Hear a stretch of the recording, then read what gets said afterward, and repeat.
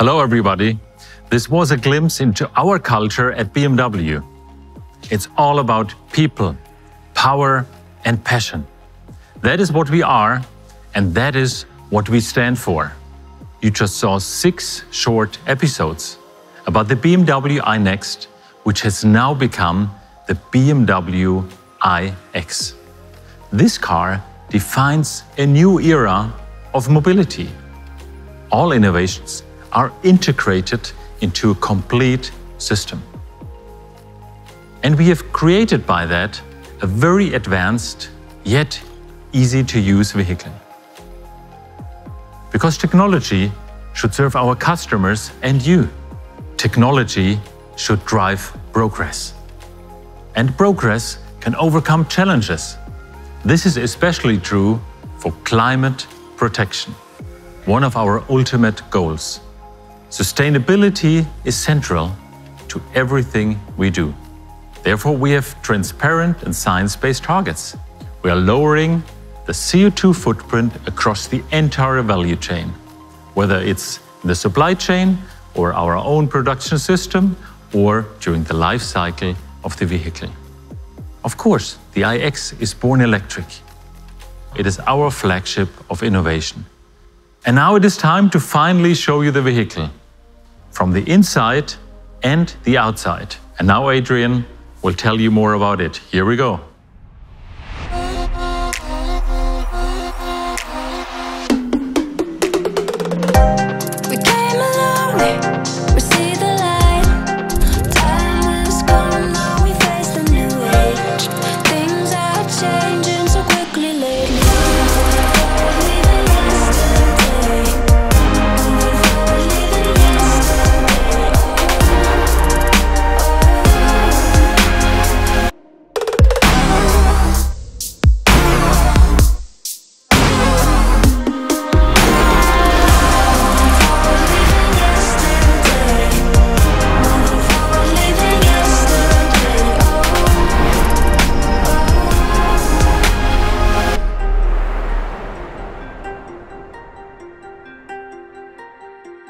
So here we are behind the wheel of the BMW iX.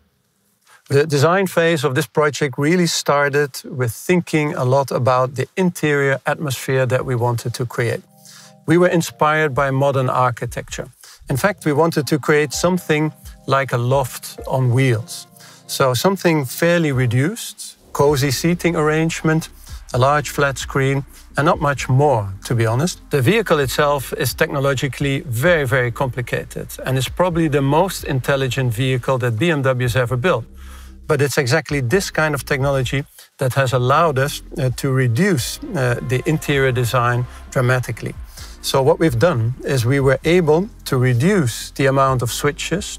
We're not switchless, but we definitely have a lot less switches. Things like ventilation have been minimized. And the screen indeed has grown in size, is curved, and has touch functionality.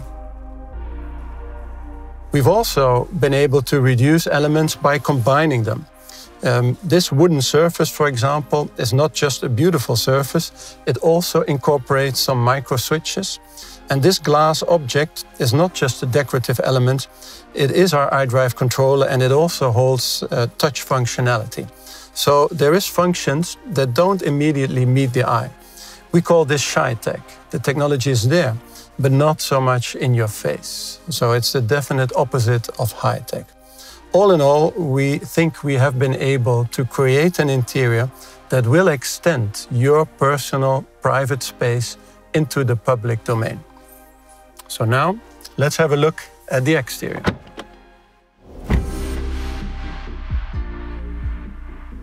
Inside profile, the iX looks clean and robust, monolithic almost, like a well-rounded stone with some facets sheared off.